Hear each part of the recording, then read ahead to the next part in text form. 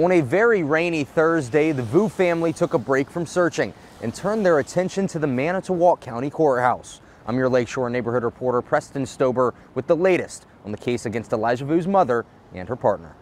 Police say Jesse Vang was the man who reported Elijah Vue missing. He's facing a child neglect charge. And Thursday, without an appointed attorney, his case was delayed again.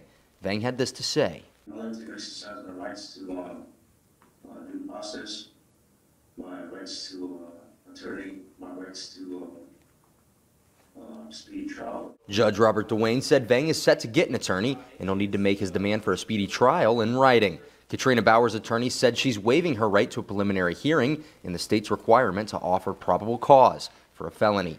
Baur has also been charged with child neglect.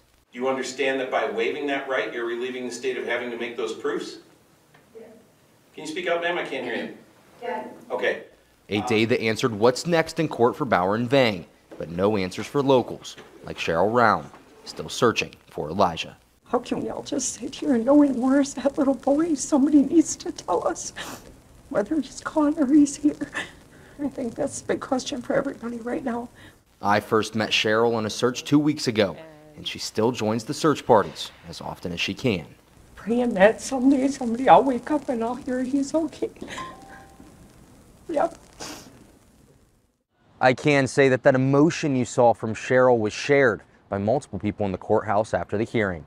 Vang is expected back in court on the 21st for his preliminary hearing, whereas Baur will be back in court on the 22nd of March for her arraignment at 4 o'clock.